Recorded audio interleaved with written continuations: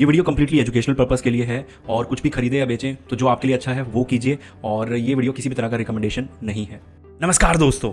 इस वीडियो में आपको क्या क्या देखने को मिलने वाला है। सबसे पहले नंबर पे हम देखेंगे कुछ लार्ज कैप फंड अपने पैसे बचाने के तरीके ट्रैकिंग एरर सबसे फ़र्स्ट नंबर पे ये सब चीज़ें देखेंगे, ठीक है? इसमें जो प्रांजल कामराज जी ने फ़र्स्ट नंबर पे बताए थे, कुछ अच्छे फंड्स जो उनके अकॉर्डिंग हैं, कुछ अच्छे म्यूचुअल फंड्स वो उनके बारे में बात करेंगे और कुछ अपना भी तड़का डालूँगा क्योंकि वीडियो मतलब है तो हमारी ना तो कुछ अपना तड़का भी डालेंगे उसके अंदर और वो क्या है और किस तरह से आपको बेनिफिट देगा, सब चीज़ों के बारे में बात करेंगे, ठीक है?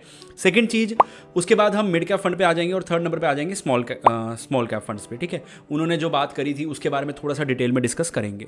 अब इसमें बहुत कुछ आने वाला है तो हो सकता है वीडियो बहुत ज़्यादा लंबा बन जाए तो इसको दो पार्ट्स में डिवाइड कर दिया जाएगा। अगर बहुत वीडियो लंबा चला गया तो ठीक है? तो चलिए स्टार्ट करते हैं, देखते हैं वीडियो कहाँ तक जाता है और मेरे हिसाब से एक चीज़ मैं और बता दूँ, तीन चीज़ें तो ये आपको देखने को मिलेंगी मिलेंगी। और उसके अलावा मैं कह रहा हूँ आपको छोटी छोटी बहुत सारी चीज़ें जानने को मिल जाएँगी। ट्रैकिंग एरर क्या होते हैं, एक्सपेंस रेशो पे कितना ध्यान देना चाहिए, हमारा टर्न ओवर रेशो किस तरह से इम्पैक्ट करता है, हमारी कॉस्ट को कैसे इम्पैक्ट करता है, और आप अपना पोर्टफोलियो हमसे कैसे मैनेज करवा सकते हैं, सब चीज़ों के बारे में आगे बात कर लेंगे, ठीक है? तो अब आ गए हैं हम स्क्रीन पे और यहाँ पे आप देखेंगे तो यहाँ पे आपको मैंने मार्क किया हुआ है एच इंडेक्स सेंसेक्स फंड को, जो उनका फेवरेट है, जो वो हर बार बोलते हैं, ठीक है? टाटा का एक सेंसेक्स फंड है, ठीक है? उन्होंने सभी चारों फंड सेंसेक्स के ऐड कर रखे थे तो मैंने वहाँ से दो ले लिए, जिनका ट्रैकिंग एरर लास्ट ईयर सबसे कम रहा, इन दोनों का, ठीक है?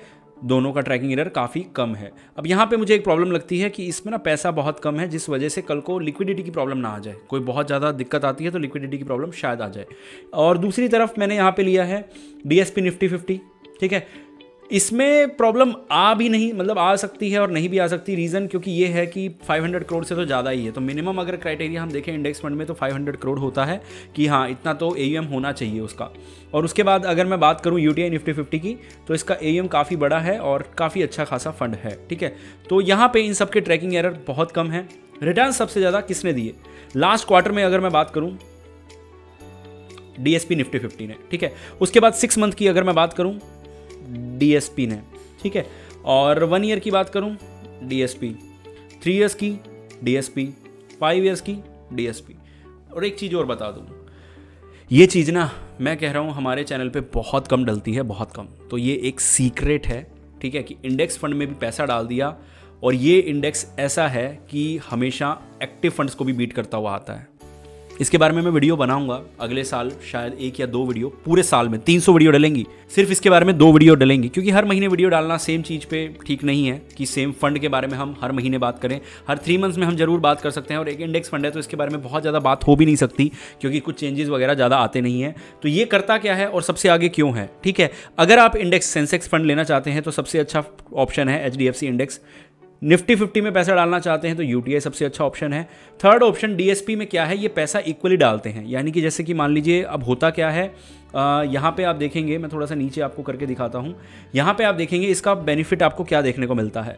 फाइनेंशियल में यहाँ पे आप देखेंगे 40 40 परसेंट पैसा है। निफ्टी फिफ्टी में 33 और ये डाल रहा है सिर्फ़ 15 परसेंट क्योंकि सभी स्टॉक्स में पैसा बराबर डल रहा है, पहले से लेकर पचासवें तक।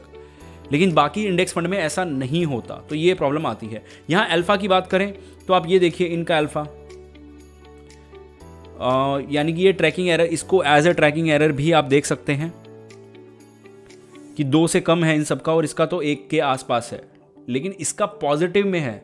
यानी कि बहुत ऊपर चला जाएगा। इसका ट्रैकिंग एरर देखेंगे तो बहुत ज़्यादा रहेगा, लेकिन हमेशा पॉजिटिव में रहेगा क्योंकि अल्फ़ा पॉजिटिव में है।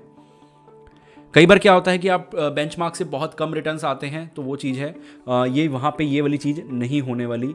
अच्छा खासा रिटर्न आपको देखने को मिलने वाला है और सब में पैसा इक्वल डल रहा है तो बीटा ये यहाँ बढ़ जाएगा। रिस्क काफ़ी ज़्यादा हो जाएगा। शार्पे इंडेक्स का एक से ज़्यादा सोटिनो दो से ज़्यादा ये बहुत तगड़ी तगड़ी चीज़ें हैं जो आपको ध्यान में रखनी है। और ये फ़ंड के बारे में हमेशा बात नहीं होती। ये लार्ज कैप का एक्सपोजर देता है आपको बहुत अच्छे से इंडेक्स का एक्सपोजर देता है और बहुत बढ़िया काम करता है। ठीक है अब आ जाते हैं एग्जिट लोड पे। सॉरी टर्न ओवर रेशो कोई इतना ज़्यादा नहीं रहता। इसमें थोड़ा सा ज़्यादा है हल्का सा आ, बाकी अगर मैं बात करूँ एक्सपेंस रेशो की मैटर ही नहीं करती। डबल है इसका एक्सपेंस रेशो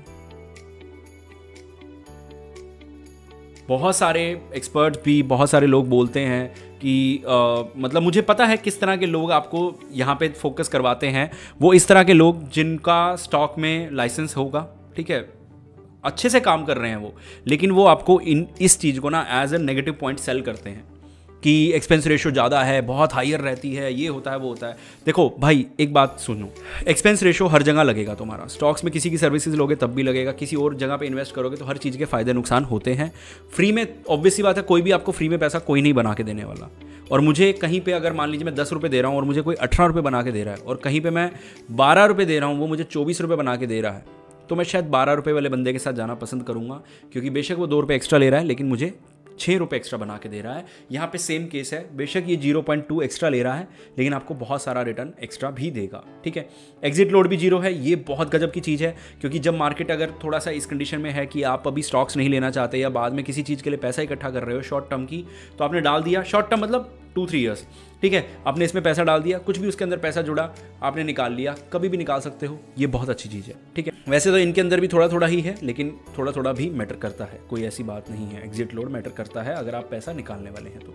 ठीक है? अब आ जाते हैं मिड कैप फंड पे। मिड कैप फंड की अगर मैं बात करूँ यहाँ पे तो हमने कोटेक एमर्जिंग इक्विटी का बहुत डिटेल में रिव्यू करा था। वो जाके ज़रूर चेकआउट कीजिएगा।